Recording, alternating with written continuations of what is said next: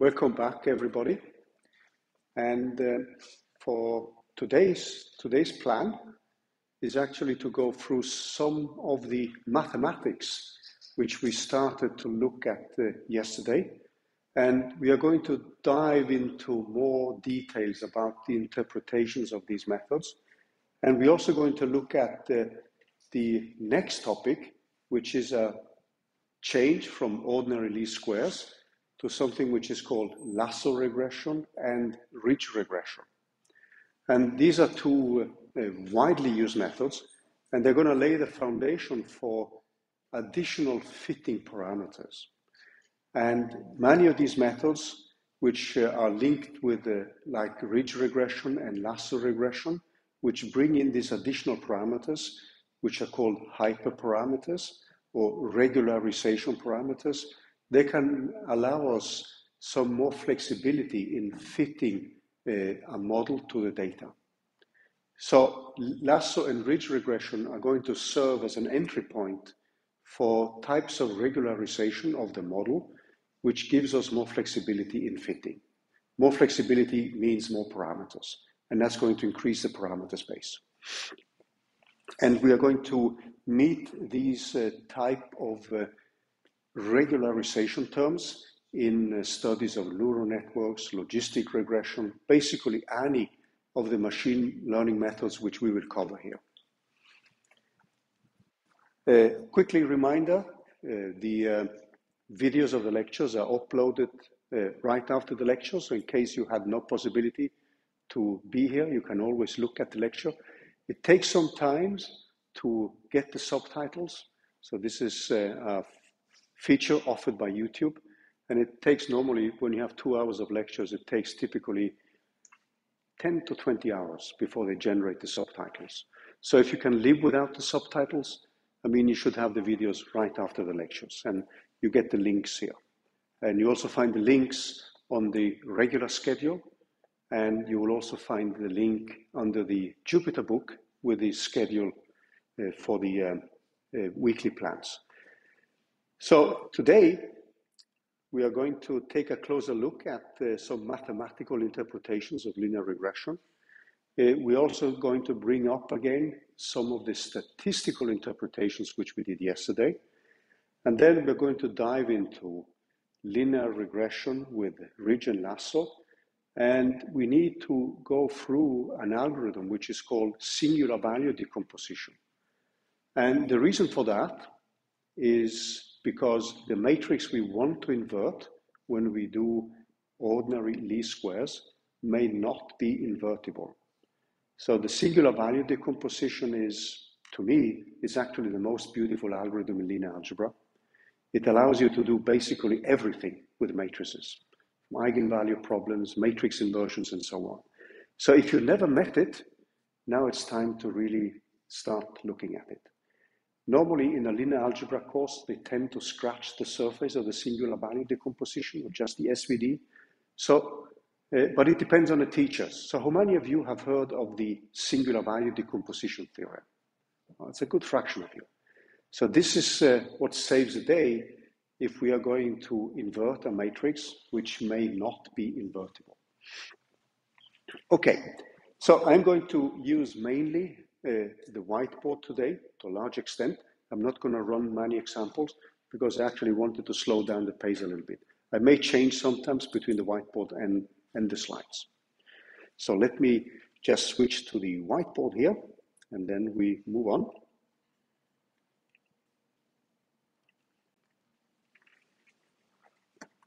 So let's uh, uh, start with what we had for linear regression, ordinary least squares.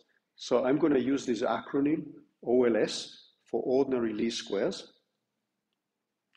So that's going to be ordinary least squares the equation which we have derived.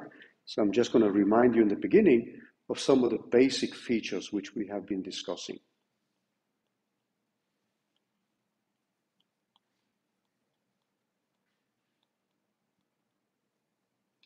So what we did is to assume that we have some output data which can be described in terms of a mathematical function, a continuous function which exists, plus some normal distributed noise.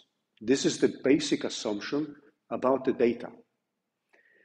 So f of x is seen as, in general, a deterministic function, a well-defined function. So there is normally uh, no stochasticity connected with f of x. It could be. It could happen that the x's could be described by a probability distribution. We are assuming that this epsilon f is now given by a normal distribution with zero mean, and normally we put a variance equal to one, but I'm simply going to put a variance sigma squared here, and I'm going to put a subscript epsilon to indicate that that variance uh, is a quantity which may not be known. So many practitioners, they would typically put it, if it's not known, they put the variance to one. That's a pretty common uh, replacement. So that means that epsilon is a stochastic variable. It's a random variable. f of x may be a continuous, is a continuous function, but we haven't specified whether we want to treat it as a deterministic object or as a stochastic object. Now, what we have done is then to replace this f of x with a model. So in our case, we have a model which is given by this design matrix times this unknown quantity beta, which then defines our parameters. so everything is translated in terms of vectors and matrices. So this is a matrix, a vector of length n.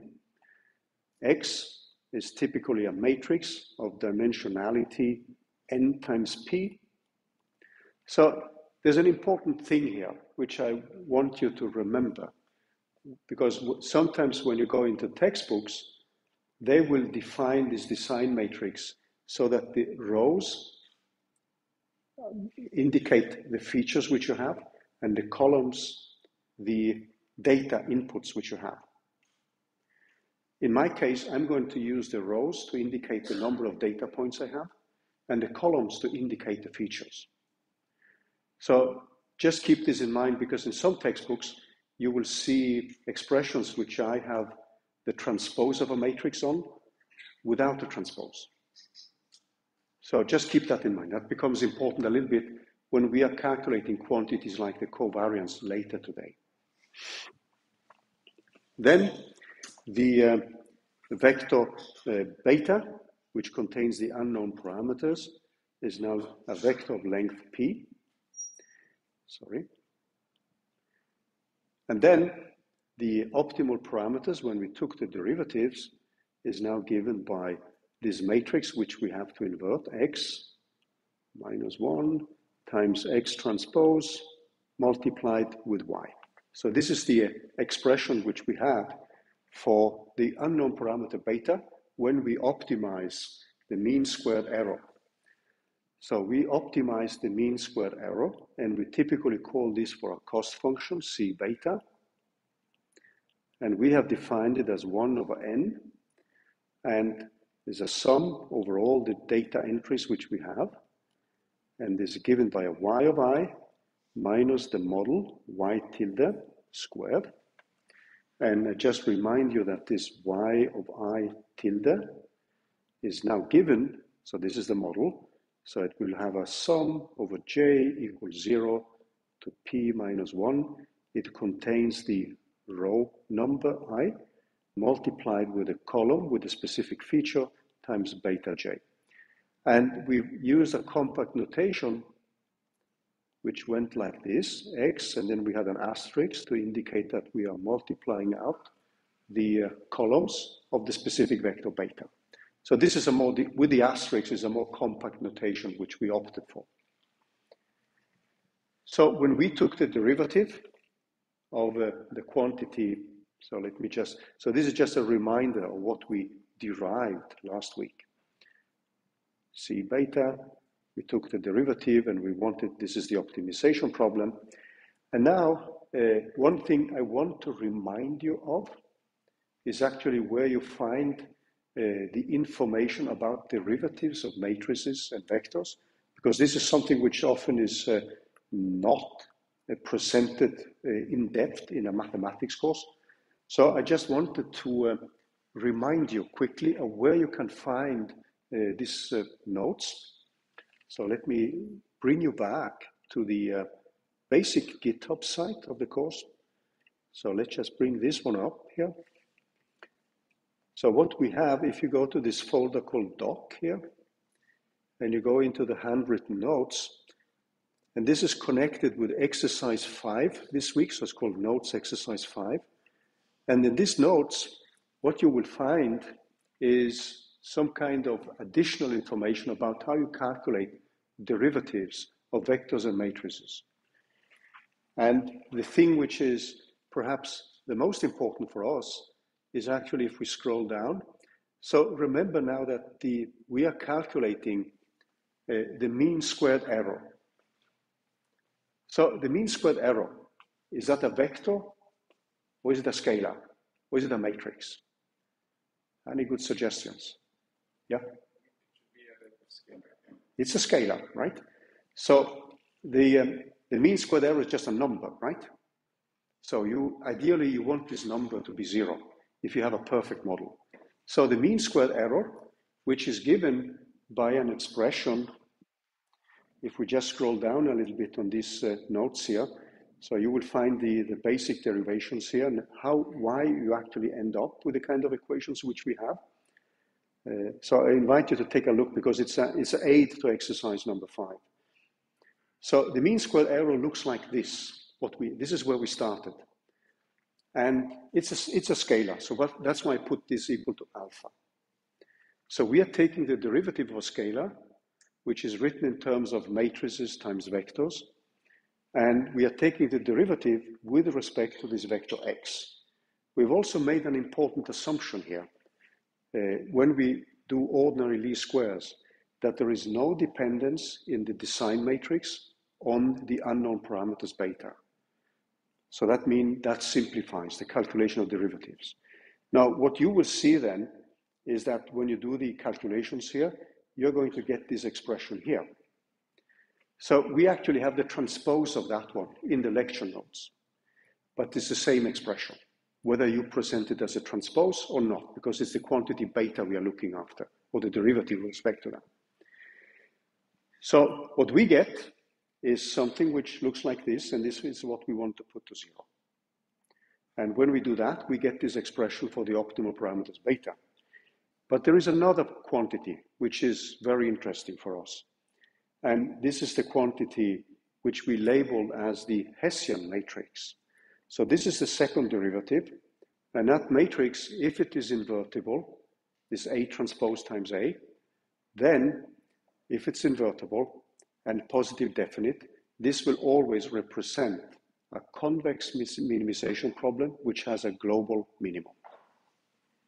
So that's extremely useful for us when we are minimizing the cost function which we have chosen. So take a look at these notes, and now I'm just going to go back to the uh, to the uh, to the slides, not to the whiteboard. Sorry for that. So what we uh, ended up with is then a quantity which is given by this quantity x of t times y minus x times beta and we want that one to be equal to zero. And that gives us this expression which we have set up here. So again, with the linear regression in ordinary least squares, we have analytical answers for the optimal parameters. Now, what comes next now is the calculation of the second derivative. So if we take the second derivative, we actually need to take the derivative of quantity d because we want to have a scalar, so d beta, and you can show that this one is going to be equal, in our case, to 2 over n times x transpose times x. So if you do the exercises, exercise 5 this week, and you look at that uh, note which you have uh, at the GitHub address, you will see that this is the derivative, the second derivative.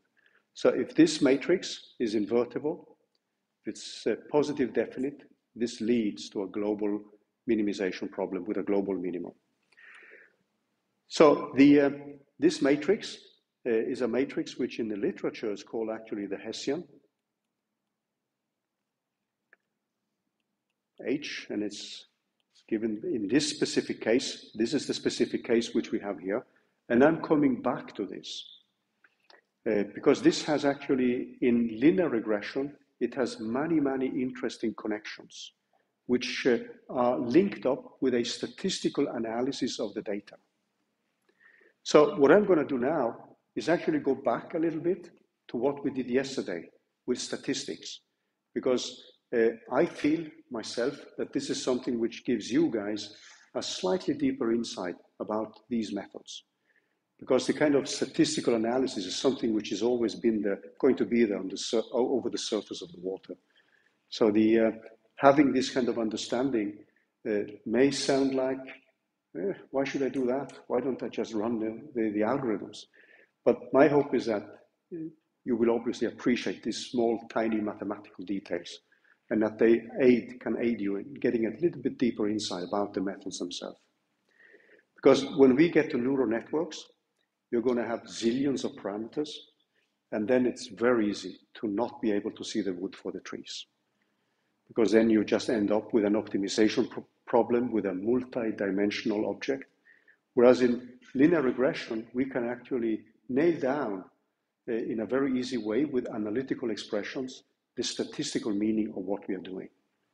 It's easy to get lost when you do convolution neural network and neural networks and so on. So let me try to baby step you through some of these quantities. So one of the things which we mentioned yesterday was actually about the expectation values. So we brought back some definitions from statistics. And one of the things which I just gave you was the assumption that the output y is distributed according to a Gaussian with a specific mean value and a variance which is the same as the added noise. So let's see that this is actually the case. And then we are going to find that the variance of the unknown parameters beta is given by that matrix there. When we are going to calculate the covariance matrix, which we mentioned yesterday, and which we are going to need in our analysis, you will see that the covariance matrix is going to be given by that matrix with ordinary least squares. So ordinary so ordinary least squares has many nice analytical features which can help in gaining this kind of deeper insight. So let me see if I'm able to convince you about that. I may fail. So please stop me if you have questions, if things are unclear. So let's go back. This was a kind of repetition of what we put up. So let's go back to statistics and probabilities and expectation values. So one of the things which we didn't calculate yesterday, but which I just stated, was the expectation value of the quantity y.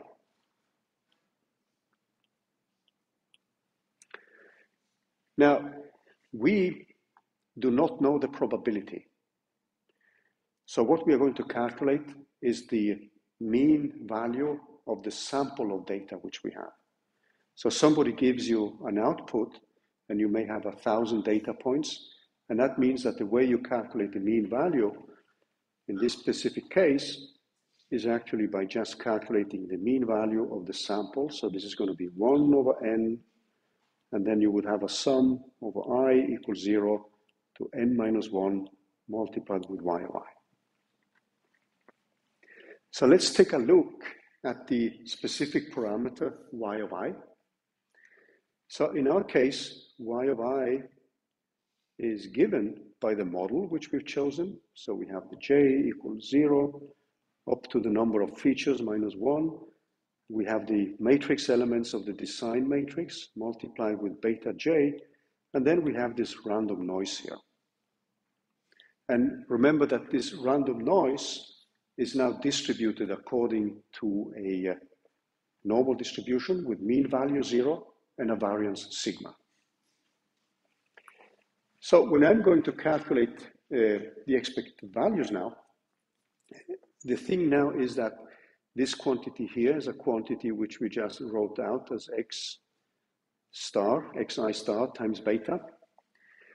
These are assumed to be not stochastic variables.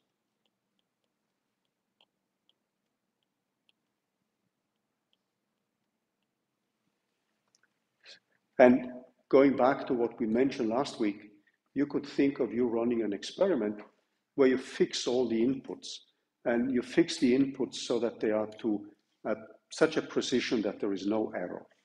And the fixed inputs are then thought of something which is not a stochastic variable.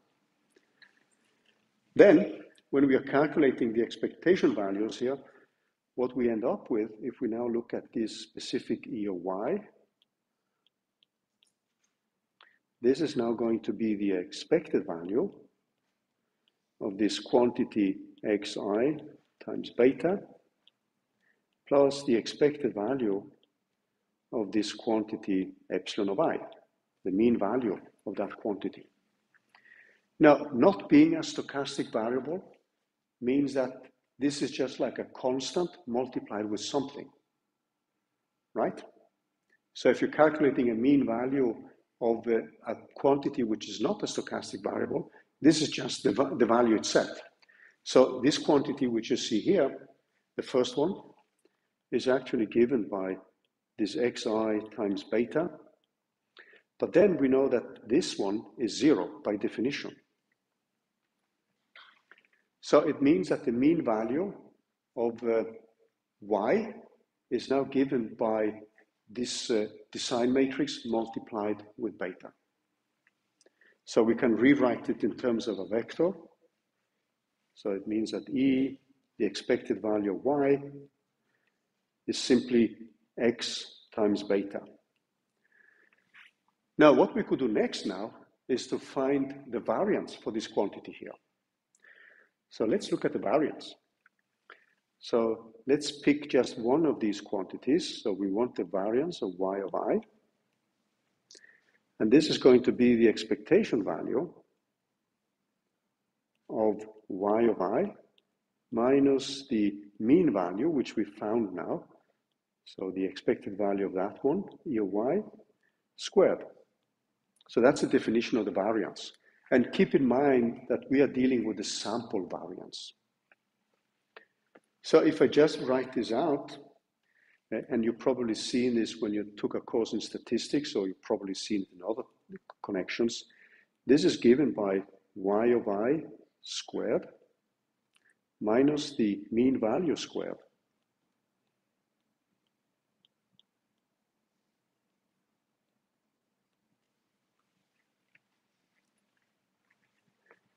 So what we need to do now is just to plug in the value y of i squared. So if we take, we have this value. So this is simply going to be this quantity which we call xi times beta squared. But now we need this quantity here. So what I'm going to plug in is obviously the definition, which is given by xi times beta plus this epsilon of i and I'm going to square that quantity and calculate the expectation value. So if I do these operations here, uh, just squaring, uh, what I'm going to get then is an x of i, and then this star, this odd notation, which you will find in actually in many textbooks. Then I get plus 2 times epsilon of i of xi multiplied with beta plus the expected value of this epsilon i squared. Now, uh, the first term, since this is not a stochastic variable, this gives us simply xi times beta squared, and that is going to cancel the term which you see here. Then, what I have in addition is plus and now I have, this is a constant, so I have 2x of i times beta. And then I have the expectation value of epsilon i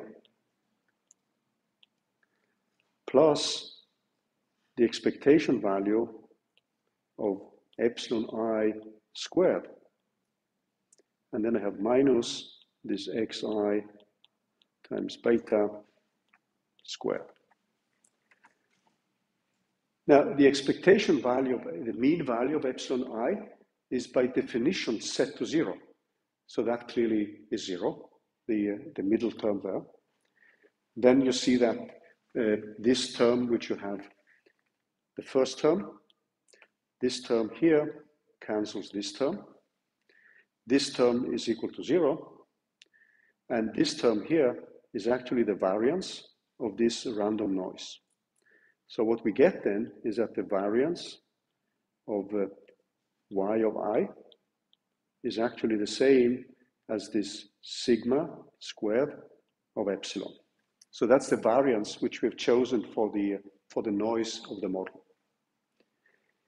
Now, since x, the design matrix, is not a stochastic variable, we assume that the distribution of the noise is given by a normal distribution. This allows us to infer that y follows a normal distribution, and it has a mean value, which is given by the matrix x times beta, and a variance, which is given by the same variance as the added noise. So this is what allowed us yesterday to assume this probability P of y, i, given an x and a beta, is proportional to a noise given by a normal distribution with mean value x of i beta and variance the same as the one we had for the added noise.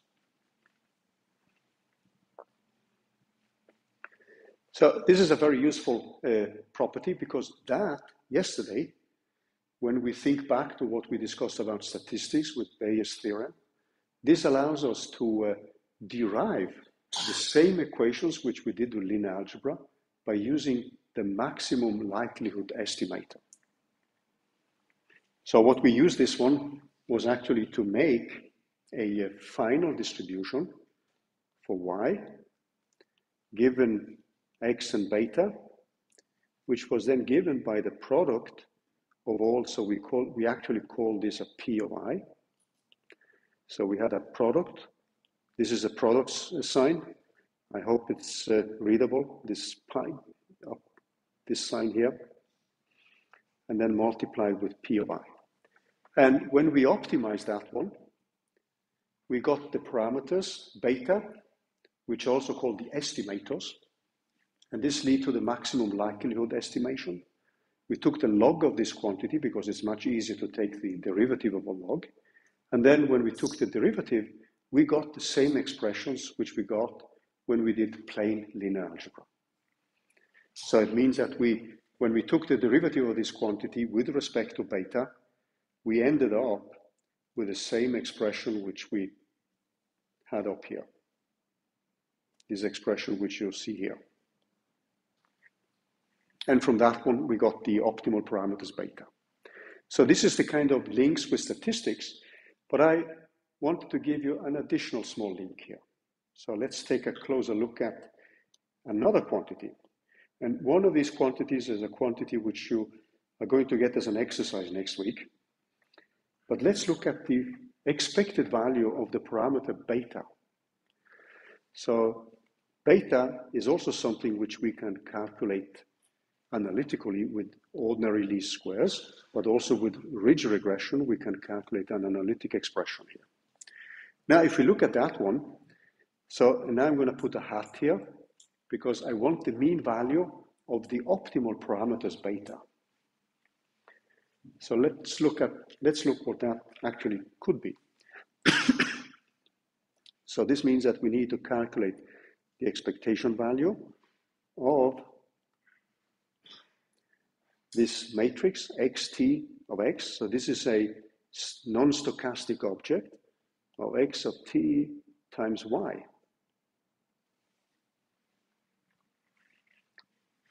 So this is a quantity we need to look at. And now uh, what we can use is all the kind of wisdom which we have from before. So we know that this one has to be equal to x of t times x. These are non-stochastic variables x of t times the expected value of y. And we already found that one. That expected value, this quantity here, is just x times beta, right?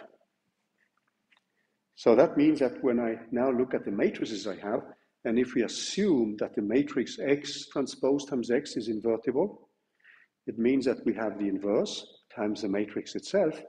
So this should actually just be equal to beta because the, the first term here, this term multiplied with this one and multiplied with that should just give us the identity matrix.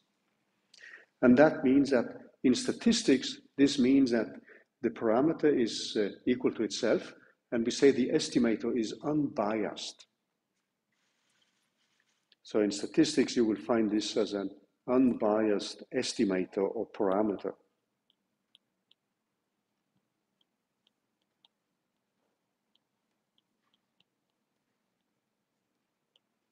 I switch normally between parameters of the model, estimators, and so on. So I hope you can see from the context that is actually the same quantity. Okay, so in exercise next week, there's a paper and pencil exercise next week as well. So I'm going to leave that as a small challenge. So I do the I do the easy stuff in the lectures, and I give the rough stuff to you guys. I'll just joke. But you, you can uh, the thing. This is actually very useful to calculate. Next week, exercise in week 36 is to calculate the variance of the parameter beta And what you need to do then is actually to set up the uh, definition of beta and subtract the mean value. And you have the mean value, which is given by beta here. So the mean value is already there. So with the mean value, you can calculate the variance. And what you're going to see then is that this quantity has an analytical expression. And it's given by this matrix inverted. So this is the sigma epsilon. So this matrix, which we call the Hessian, uh, which is the second derivative, is also a matrix which gives us an analytical expression for the variance of the parameters beta. Now, what can you do if you have the, so this depends a little bit, the question I mean, hinges a little bit on you having done some statistics. If you have the variance of the parameters beta, what can you do then? What can you use a variance to define? Yeah? Could you say it again? I didn't. Yeah. So that gives you the standard deviation, right? So for those of you online, I mean, when you calculate the variance, you know that you have a quantity which is the standard deviation. And now we are just going to define the standard deviation or the standard error, dev, deviation, deviation. That's the square root of the variance.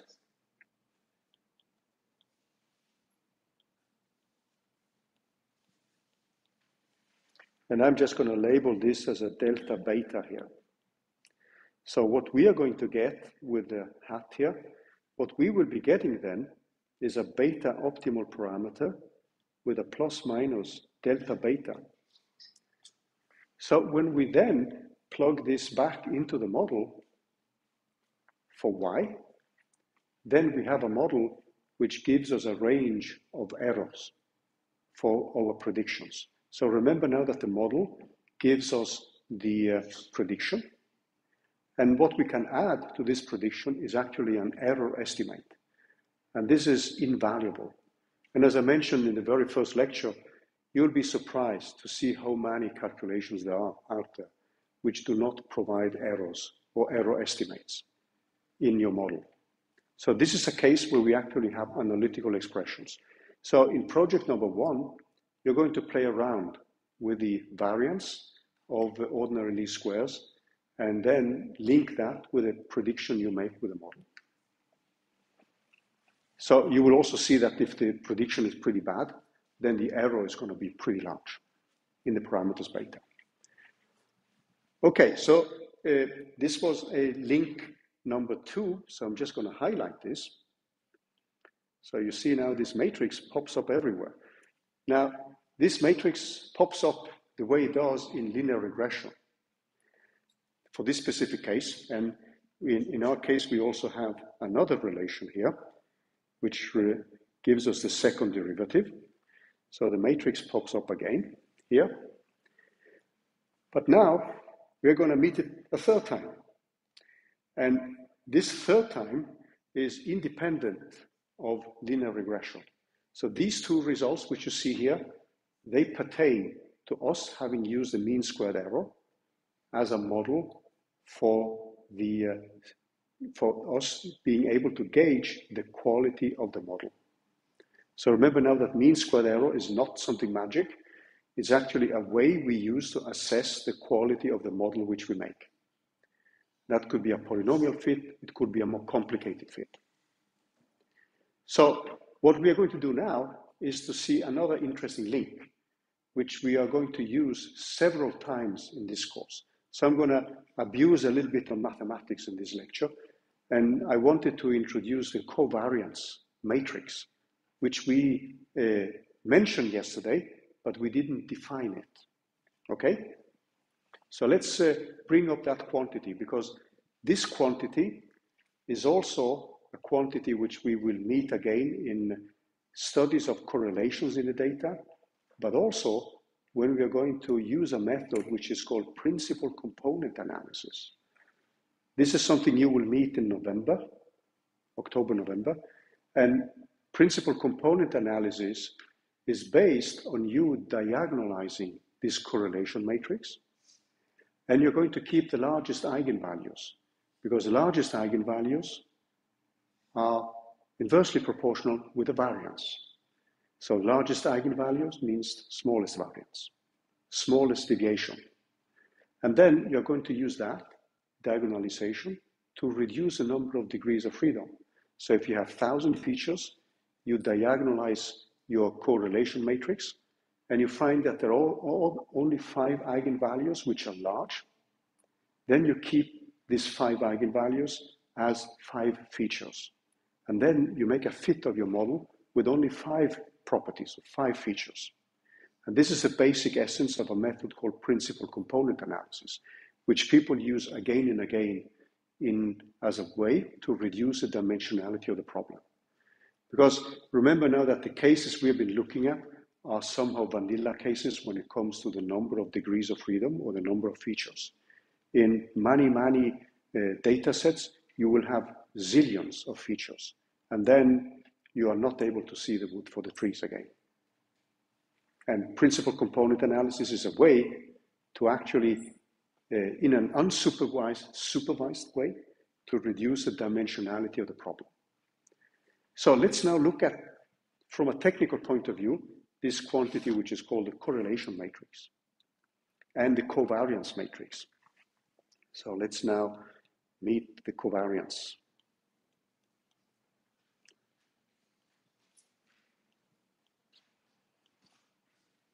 And the correlation matrix. So let me find my cheat sheet here.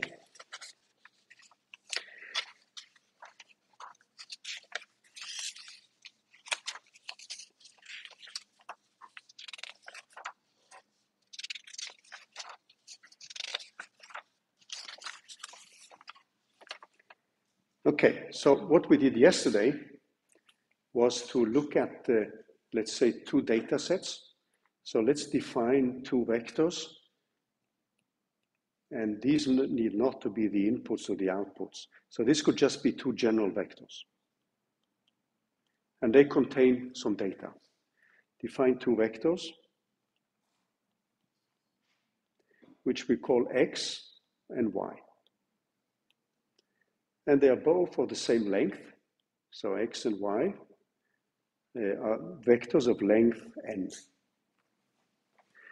So what we did yesterday was to define the covariance between x and y.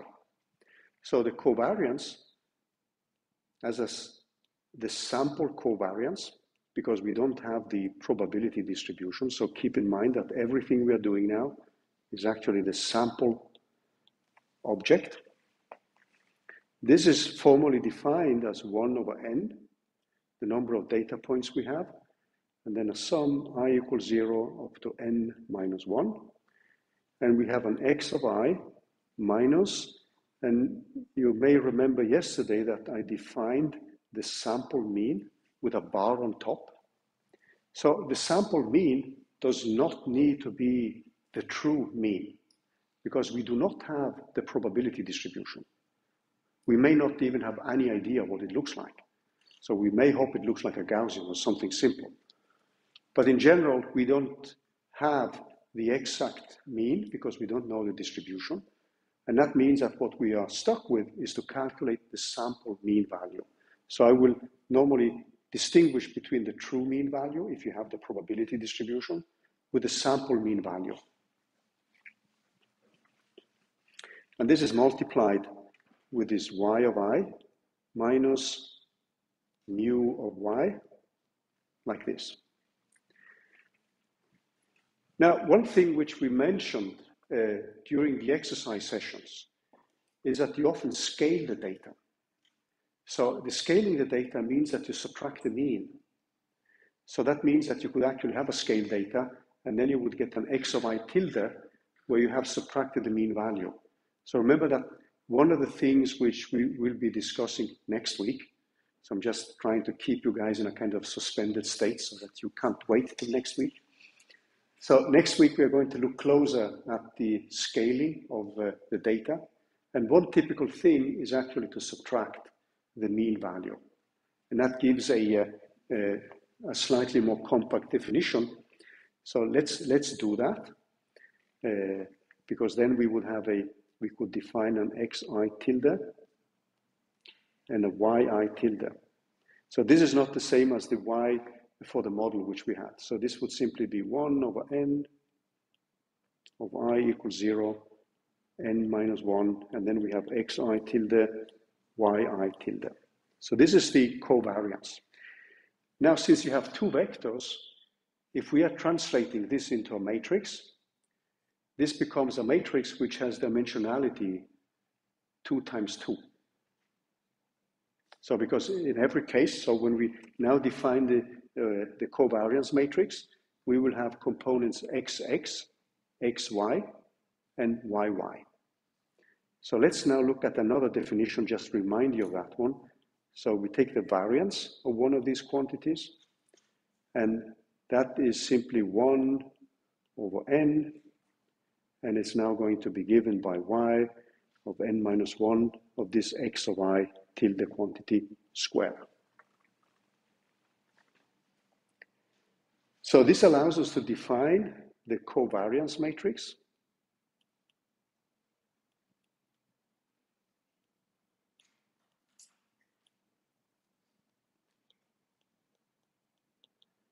And this matrix is something which I'm going to call C, in our case with X and Y. And the matrix will be given by the covariance of X with itself, which is the variance. And then this quantity is going to be symmetric. So x and y is going to be the same as the covariance of y and x. And then I have the covariance of y with y. So the, uh, the covariance, and since this is a sum of a huge data set, it can lead to huge values. You can rewrite this one there's a way to scale it. So we can rewrite this one as a variance of x. And here we have the covariance, so the cross terms are x and y. And here we have, and this is symmetric, which you can easily see. And this is the variance of y. So it's common to divide this quantity with a variance, and then you will have one along the diagonals, and then it's called the correlation matrix. That was the quantity which we saw yesterday when we analyzed those housing data. So it's uh, one past the hour. Uh, so let's now take a small break. And then we are going to continue a little bit definitions. And you're going to see that this covariance matrix is actually given by the design matrix transposed times the design matrix. So that's a very useful and interesting feature again. But let's take a small break here. Uh, questions? Feel free to ask questions. Uh, I'm going to put the recording on pause now for those of you online here as well. So I got some questions during the break, which I think uh, could be useful to repeat to everybody here. So if we go back uh, to the uh, description which I made here, which is linked up with one of the exercises, the uh, beta here, the variance, is set up as a vector. Uh, this is often something you will see as a kind of uh, annoying thing when you read many textbooks on statistical data analysis. Sometimes it's difficult to see what is a vector or a scalar. And then you have to figure that out from the context. But this beta, uh, the individual variable beta j, is actually given, has a variance, which is given by the uh, diagonal matrix elements of the matrix X transpose times X. So I wrote it like a vector here. So that means that when you make a fit to, let's say, a quadratic function, you will have a beta zero, which will be the diagonal element of this matrix, zero, zero. And then you will get a similar variance for beta one and beta two if you do a quadratic fit, because then you have three parameters. That means that you will have beta 0 plus minus delta beta 0. And then you will have beta 1 plus minus delta beta 1. And the similar for beta 2. That means, uh, just as a small digression here, so let me just draw that one before we move on. Suppose now you're making a fit to some data which are given by these circles. And then your fit goes something like this. Now then, when you add, and you're now fitting a uh, linear function, uh, quadratic function, so you would have a beta 0 plus delta beta 0 plus beta 1 plus minus delta beta 1 times x. If this is x on the axis here, and this is a function y we are fitting, plus some beta 2 plus minus delta beta 2 times x squared. So what you will get then, when you plug in these numbers, is that you are going to get a band which looks like this. So this will be the, the minimum and then the maximum. And this band is the one which is your prediction. Because then you will actually provide Uh, a potential user of your fit with a band which indicates how good the model is. So just plotting the straight line is, can sometimes be deceiving because you may even assume then that the reader may even assume there is no error in your model. So the nice thing when you do a statistical data analysis like this with linear regression is that we do have analytical expression for these quantities. Another question which I uh, actually forgot to mention during the the, uh, the lecture here. Actually, this covariance, this specific uh, object which I have here, is a scalar. Then I'm setting up a covariance matrix. So every entry here is a scalar. So what I'm going to do now is actually to set up the uh, design matrix and look at how we can define the covariance for the design matrix. So uh, in our case now, if we now look at the design matrix, so the design matrix, let's now rewrite it. So in our specific case, what we have is a matrix X. So this is our design matrix.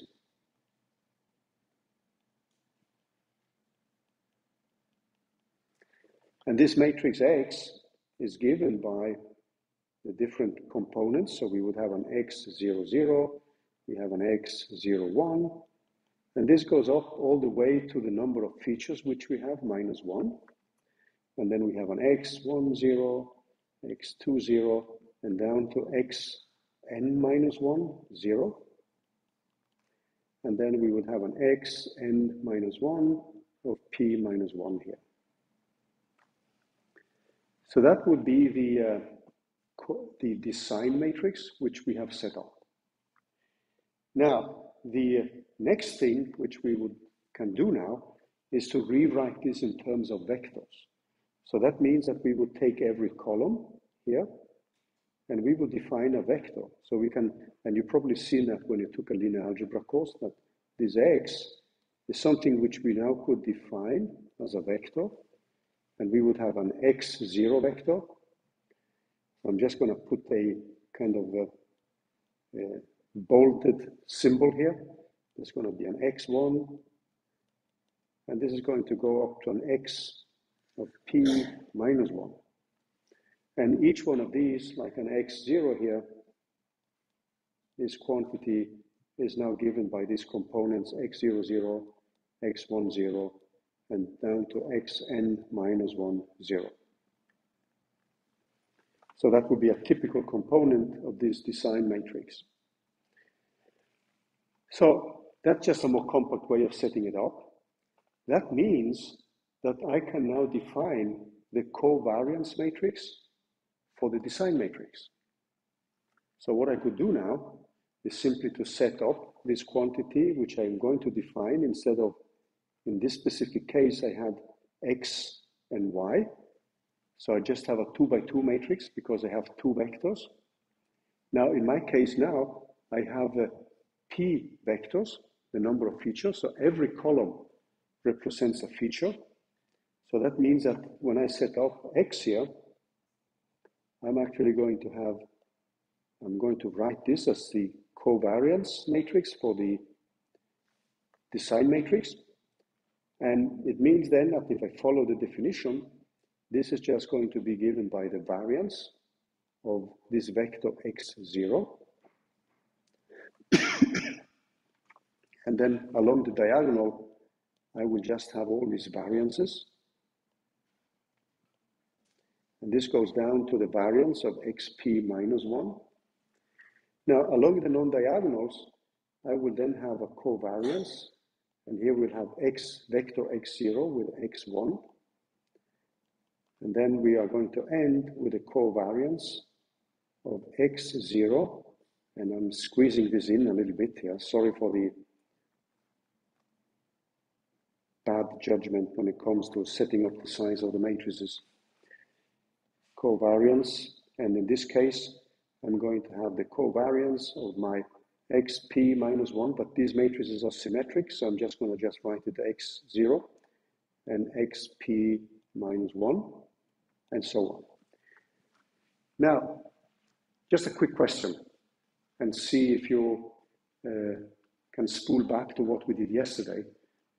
If these are identically distributed and independent variables, what would you expect for a value of the covariances? Yeah? Zero. So if the covariance is zero, that means that you can think of these parameters as independent and identically distributed. So the drawback with the covariance, as you've seen, it's a sum. So as a sum, you can have large values. And that means that this can become a, a quantity which can have values which can go from, let's say, minus a million to 10 millions. So it's normal to scale the covariance. And you scale it by dividing by the variance. And that gives the correlation matrix. So if you then divide by what's normally called the, uh, the, uh, the, the, the variance, so what you could do now, if you look at one of these entries, so you could now define this correlation. And now I'm just taking, this is again a scalar. So if I take these vectors x and y, that will be defined as the covariance between x and y as we defined it before the break. And then this is divided by the variance of x multiplied by the variance of y. So I can do the same thing with the covariance of uh, the uh, design matrix which we have and define the correlation matrix. So I'm just going to define the correlation matrix now.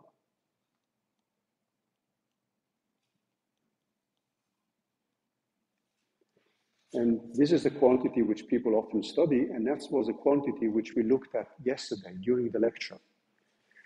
And this is normally written in terms of K, just for correlation. And then we, since we only have the vectors x here in the design matrix, I'm indicating that this is the correlation matrix for the design matrix. And then this will simply be given by 1 along the diagonals. Since I'm dividing, I'm scaling with the variance. This is a way actually to avoid huge values in your matrix. And then, since we define this correlation uh, variable, so this would be a correlation core x0 with x1. And this would go all the way up to the correlation of x0 and xp minus 1.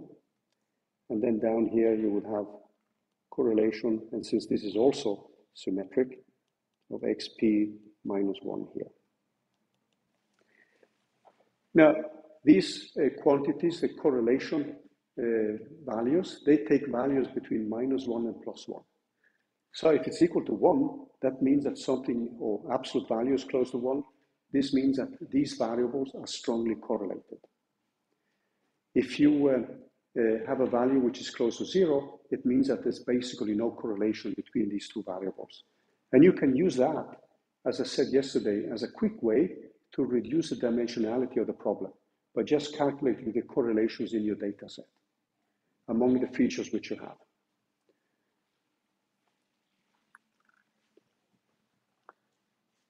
Okay, so uh, one of the things which we are going to discuss a little bit later is, is the connection between this uh, matrix and the uh, actually the uh, when because we are going to see that this matrix is going to be proportional with x transpose times x. But we are going to bring that up a little bit later. But this quantity which you see now uh, is defined uh, as, you can actually rewrite this in a more compact way, as x transpose times, no, x times x transpose.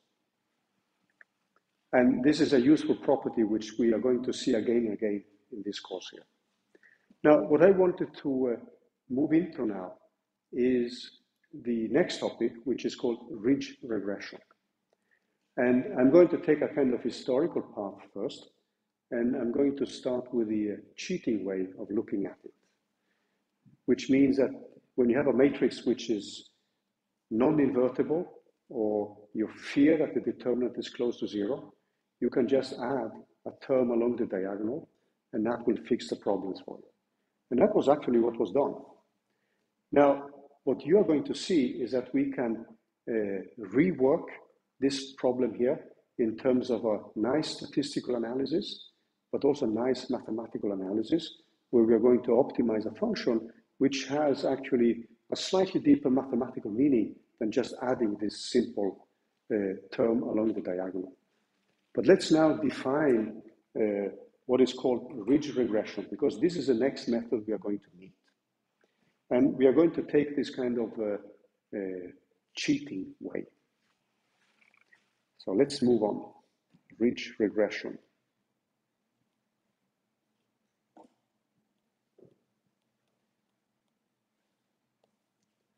So the problem which we face is the problem of having uh, this matrix xt times x.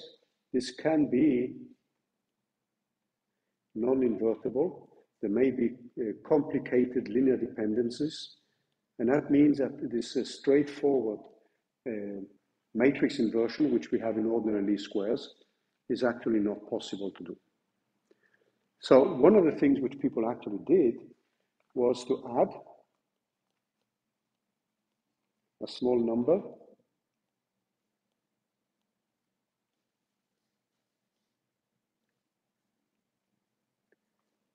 lambda to the diagonal matrix elements.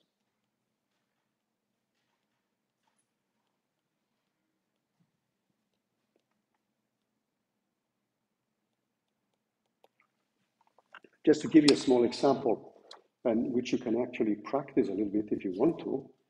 So there is a there is a matrix, a square matrix. So if you uh, if you take this square matrix, which we have here,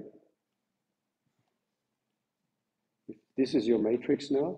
A, let me just put this one below the line here so that when we save it, you will see it. So let's say we have a matrix which looks like 1, minus 1, 1, minus 1 here. So what is the determinant of this matrix? Can you see that immediately?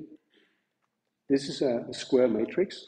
And normally people would say that a square matrix is a matrix you can find. You need to have a square matrix to find the eigenvalues. So what is the determinant of that matrix? Zero, right? So you probably get used to this now. When I ask these kind of questions with this kind of tone, I'm always looking after the roundest number you can think of. So this is a determinant which is equal to zero. So clearly, if our x transpose times x is equal to that matrix, we cannot perform the inversion. Now, do a small exercise uh, and just try it out.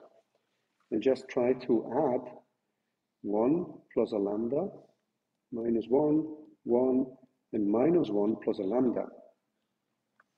And see then if you can find a determinant which is non-zero.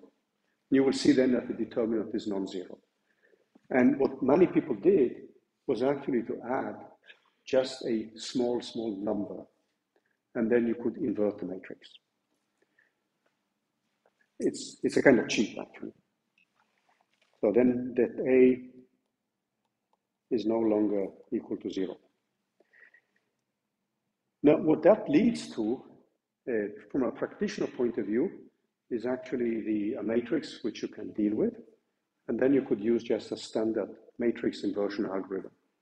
However, what this led to later is actually a deeper mathematical analysis and the introduction of something which we call regularization terms.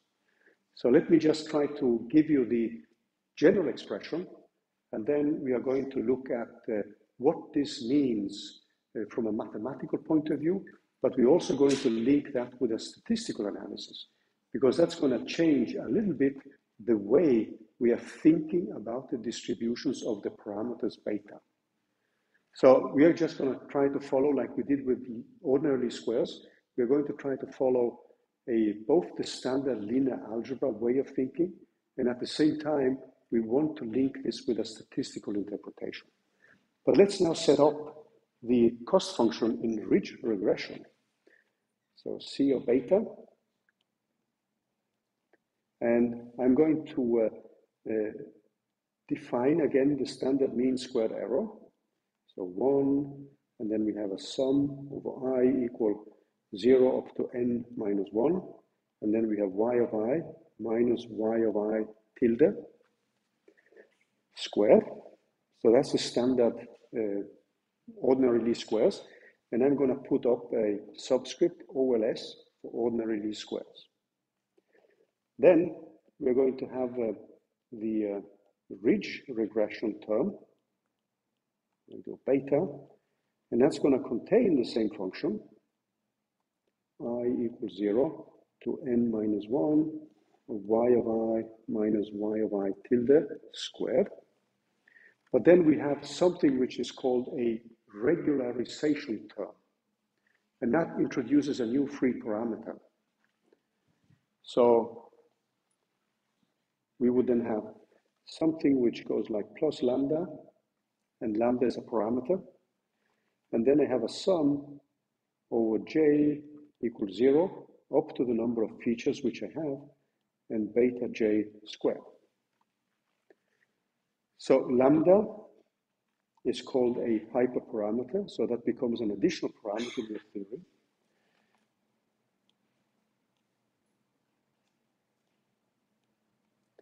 The beta j is called a regularization term, and normally lambda is constrained to a value, so it's normally larger than zero, and it's constrained to some maximum value because you don't want this to blow up.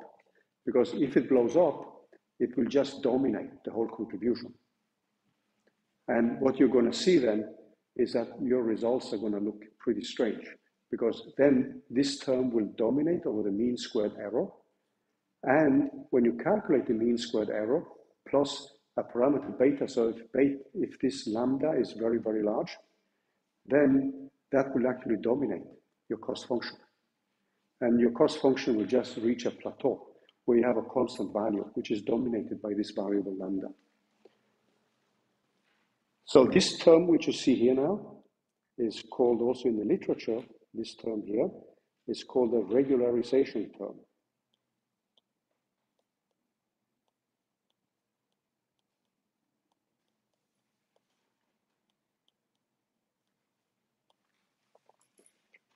Uh, you're going to see this written in a more compact way.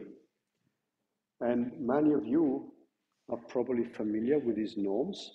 So you have something which is called an L2 norm.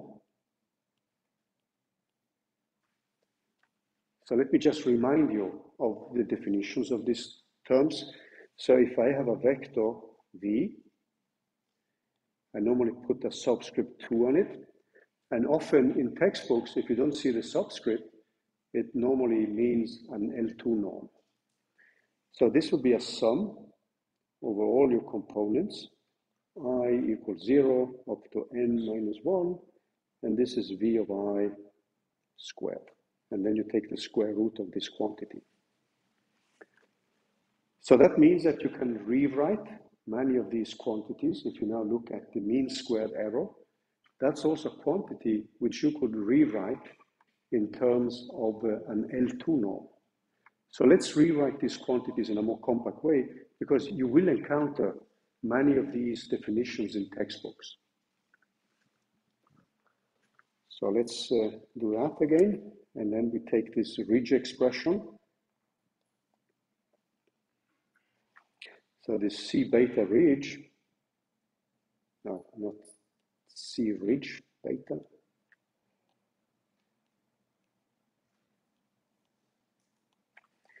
Then what we're going to have is that we can rewrite this as 1 over n, and then we have the L2 norm squared of y minus y tilde.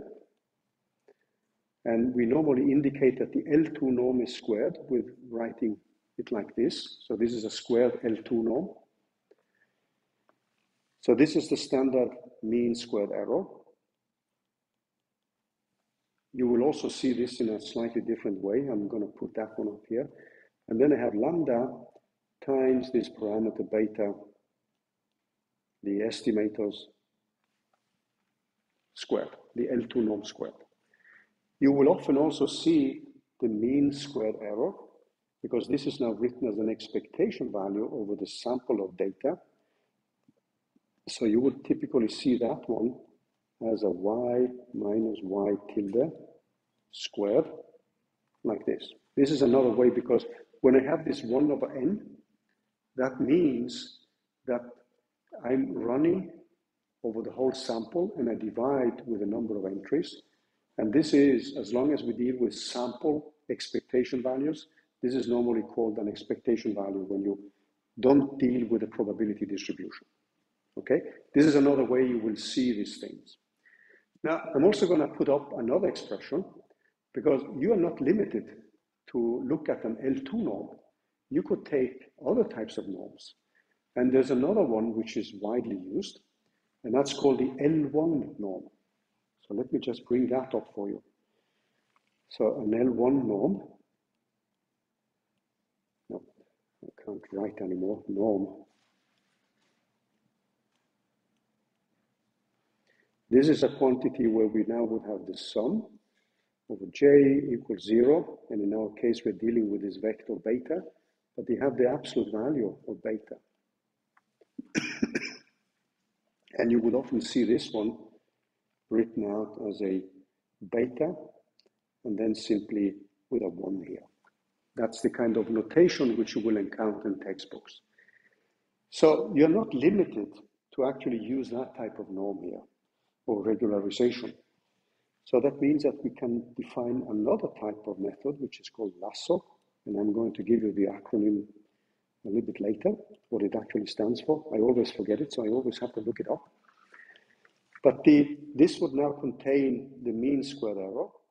So I would have 1 over n, and now I'm going to use this notation which I introduced, y minus y tilde, this norm squared, plus lambda multiplied with the norm 1 over the vector beta. And then we are going to optimize. So what we want now is to optimize these uh, functions, which we are now using to gauge the quality of the model.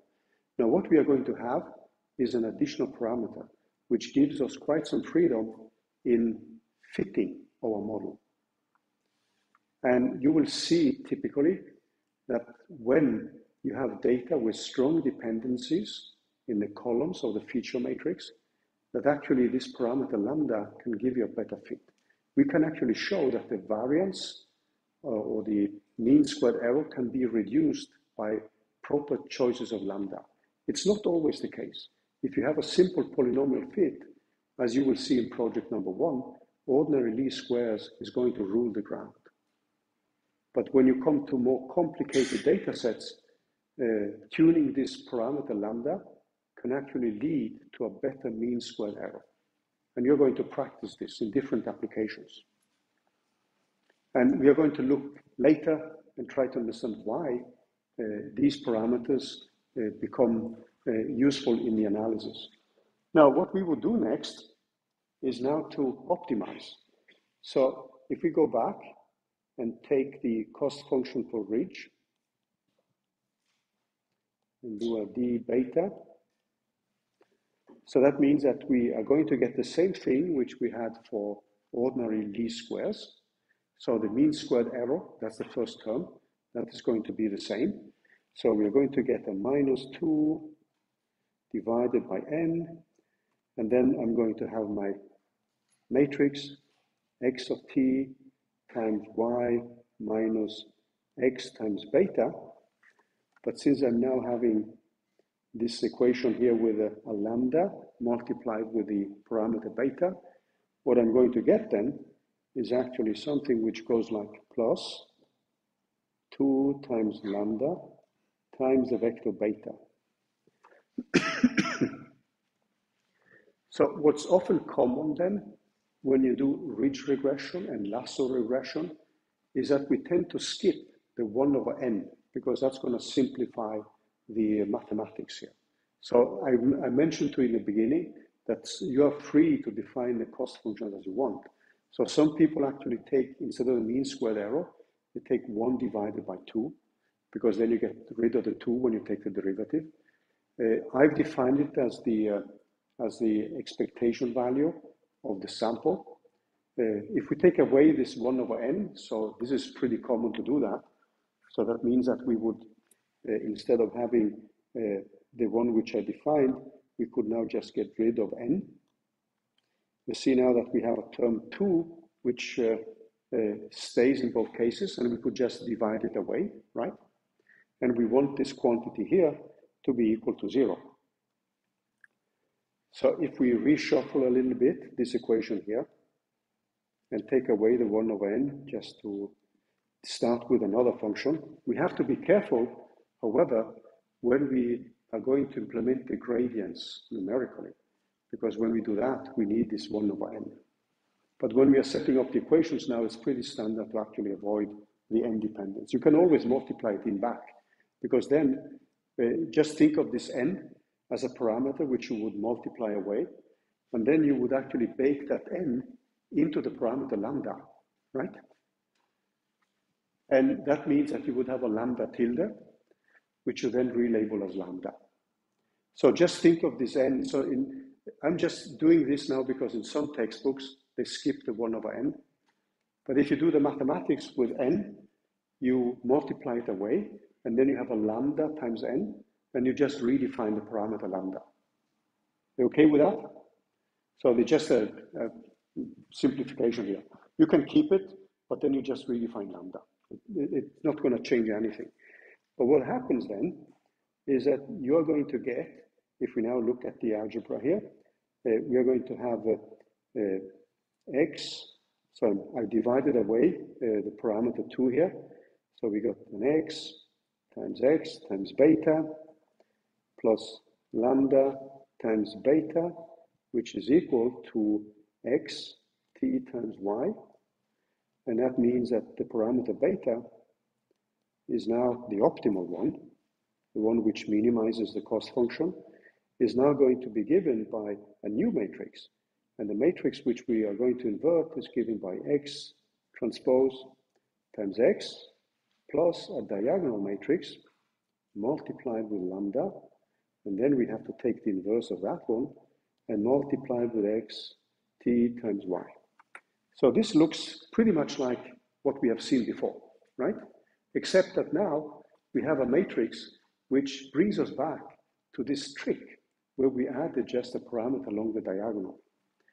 But we, the benefit here by doing this is that we have an optimization problem which we can add some interpretation features to, which we're going to discuss a little bit later.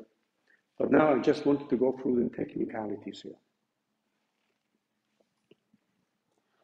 So um, on the other hand, if I do lasso regression, there's going to be a problem here. So in ridge regression, we get a nice analytical expression for the inverse here and for the parameters beta. When I do lasso regression, I have to take the derivative of an absolute value.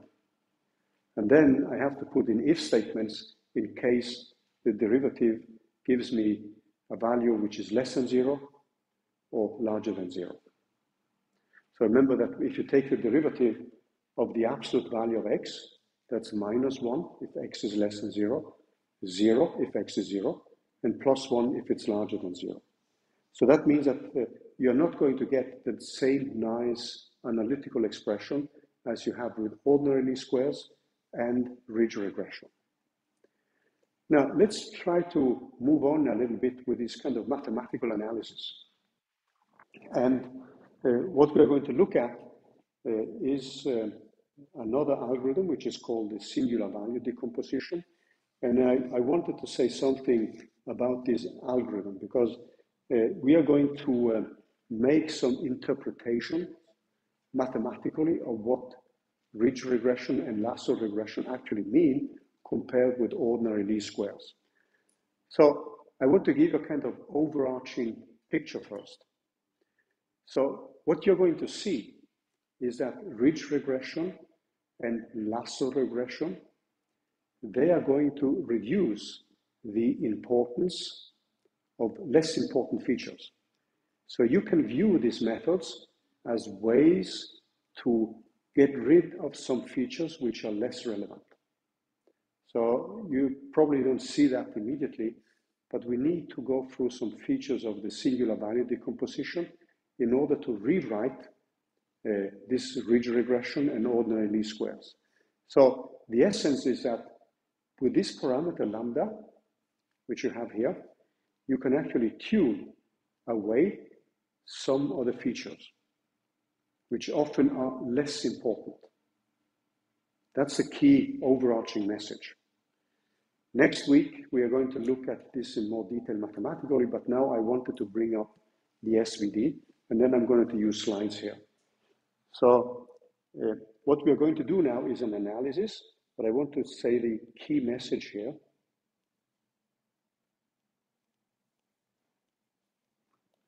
Lambda can be used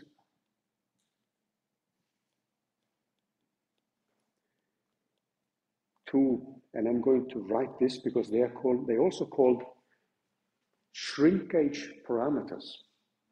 So you can actually shrink away by tuning this lambda, shrink away less important features.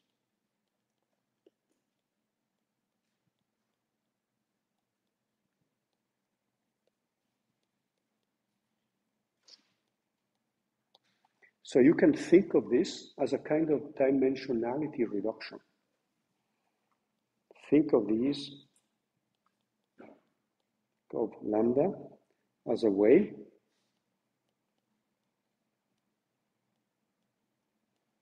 to reduce the dimensionality of the problem.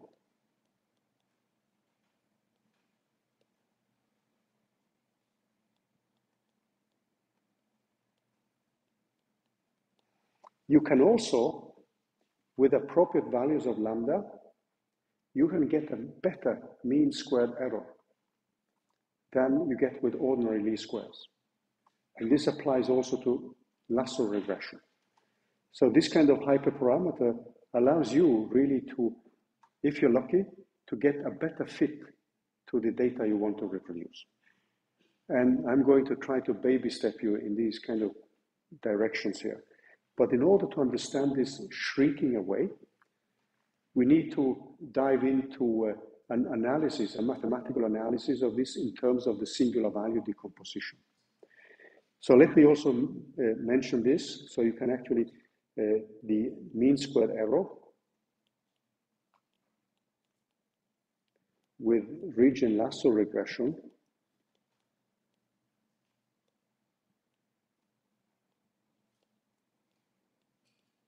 lasso regression can be tuned down to produce a lower mean squared error can be tuned down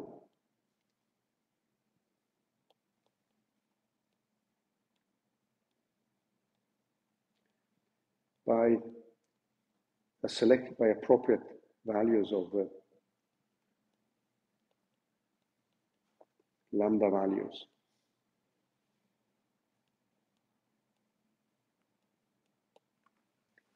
So these are two important features. Now, to understand this, let's now take a look. Let's go back to the slides and uh, take a look at the, uh, the uh, mathematics of the singular value decomposition. So I'm going to take the liberty now of uh, not going through uh, this on, on the whiteboard. So let me just bring this up again here. And then we're going to look at the slides for this week.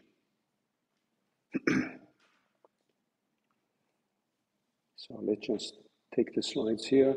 No, not this one. I actually wanted to, let's take the plane here.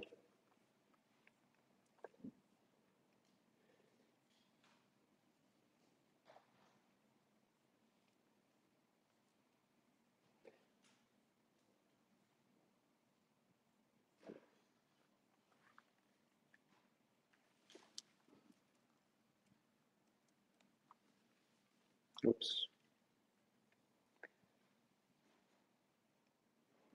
So as we've seen, uh, the singular value decomposition or the SVD, this is, I mean, to me, it's actually one of the really beautiful algorithms in linear algebra. So can, can you read well in the back there? Can you see everything clearly? So it's actually uh, an algorithm uh, which uh, allows us to circumvent some of these problems with the matrix inversions. However, I'm also going to use this to give you a deeper insight about what lasso regression and ridge regression are doing. So I just gave you the operative expressions for finding the parameters beta, but now we need to dig a little bit deeper in order to understand this kind of uh, shrinkage of less important features. So uh, it is a, uh, in machine learning, it actually plays a central role in dealing with the design matrices that may be near singular or, or singular. And also what we are going to see is that you can relate this analysis to this covariance matrix. So we're actually going to catch many birds with just one stone.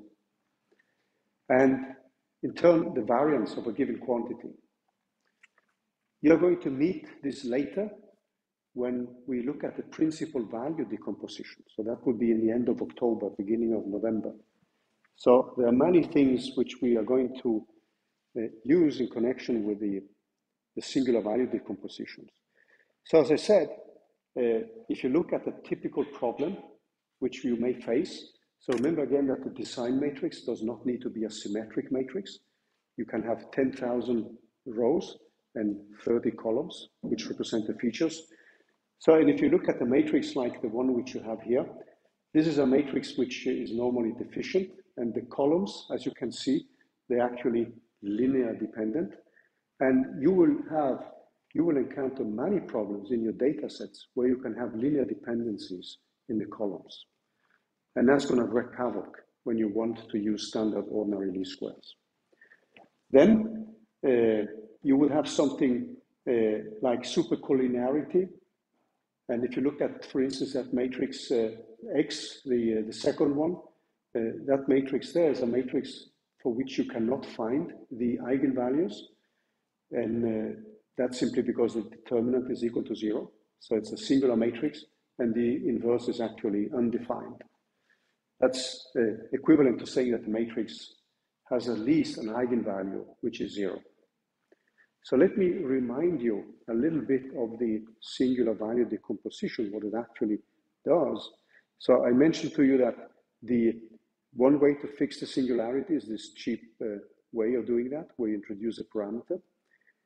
But then let's now look at the singular value decomposition.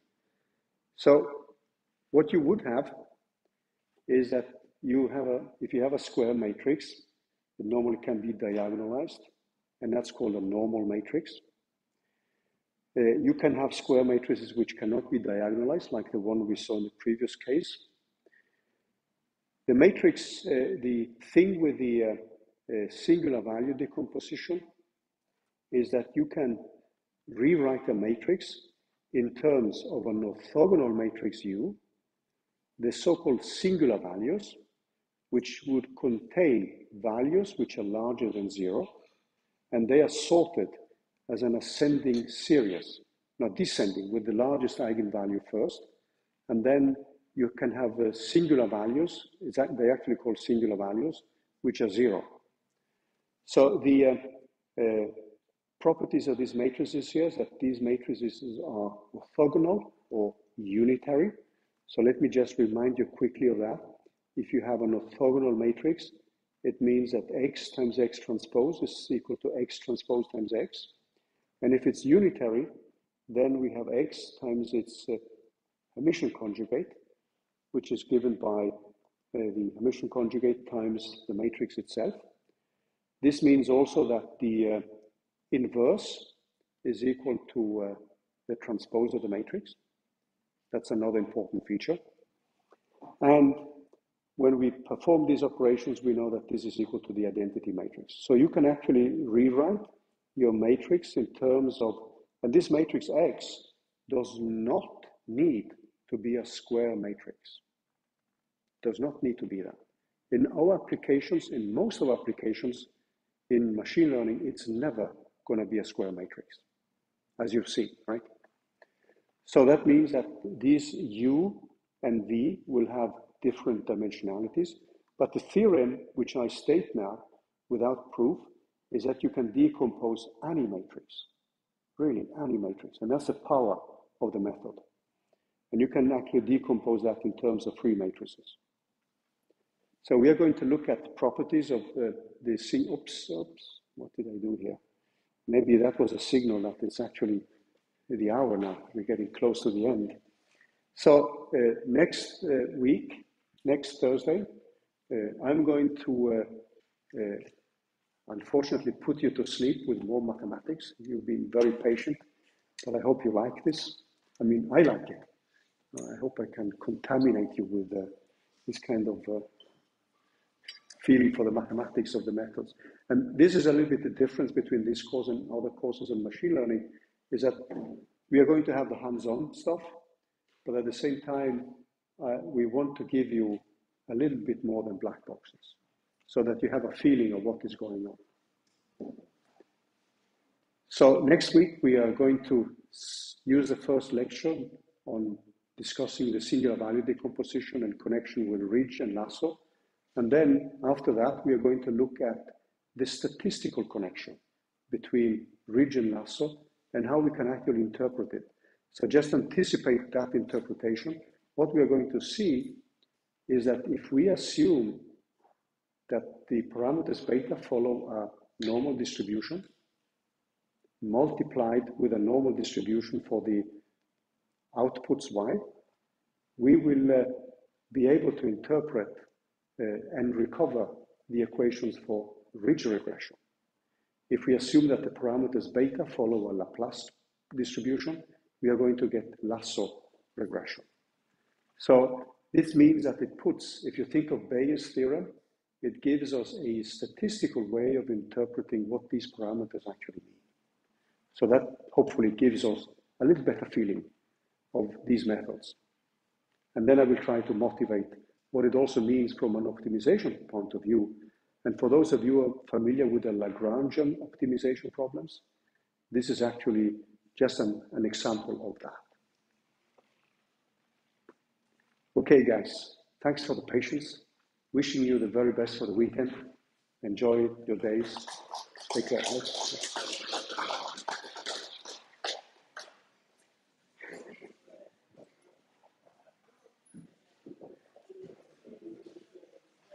So for those of you online, if you if you have some questions before I we just stop, I'm, I'm going to stop the recording anyway.